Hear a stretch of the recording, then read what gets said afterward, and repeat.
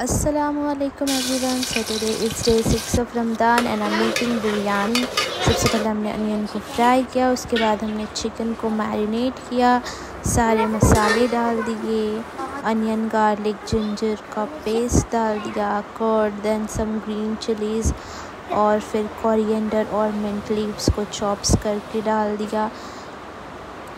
Then हमने पानी को गर्म किया चावल को पकाने के लिए। और मैरिनेटेड चिकन में फ्राइड अनियंस डाल दिए। उसके बाद हमने सेम कुकर में कुछ बे लीव्स डाले और उसमें चिकन को मैरिनेटेड चिकन को डाल दिया पकने के लिए। अब हमें इसे 80 परसेंट कुक करना है। पानी हमारा उबल गया है। उसमें हमने डाले चावल। चावल को भी हमने पूरी पूरी तरह से नहीं पकाना है, सिर्फ़ 80 परसेंट पकाना है। उसके बाद हमारा चिकन पक रहा है, माशाल्लाह से बहुत अच्छा।